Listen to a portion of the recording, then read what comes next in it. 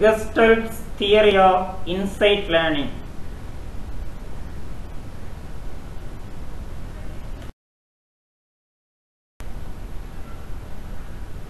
Introduction Gestalt psychology introduced by Max Wertheimer 1922.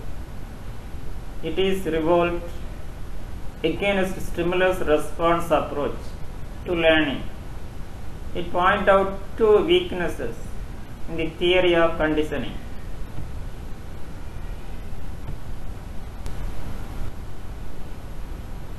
Conditioning reduces complex human behavior to an accumulation of simple conditioned response. Stimulus response theorists attribute learning to reduction of basic organic drives.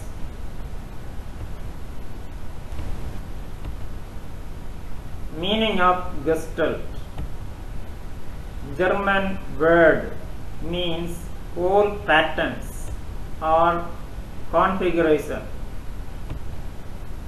According to Gestalt psychology, the whole always greater than sum of the parts. Look at this picture. This is a process of Gestalt learning.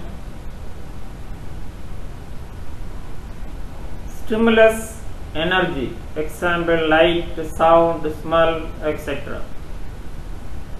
Sensory receptors, including eyes, ears, nose. Next, neural impulses by neurons. Then brain, different parts of brain contribute to receiving this stimulus including visual, auditory, olfactory, etc. Look at this figure and ground picture. Insight learning. Learning as cognitive process. Insight is mental process.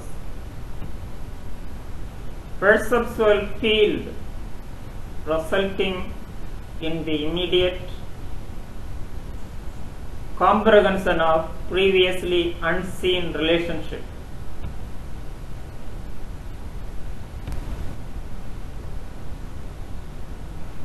Stages of insight learning. Stage 1 Preparation. Survey of problem. Stage 2 Incubation. Period of no action. Stage 3 Insight. Solution appears. Stage 4 valuation. Verifying utility of solution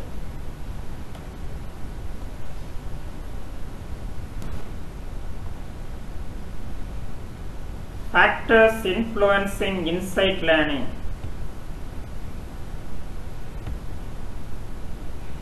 first factor intelligence second experience Third, presentation of problems. Fourth, initial effort. Thank you. Have a nice day.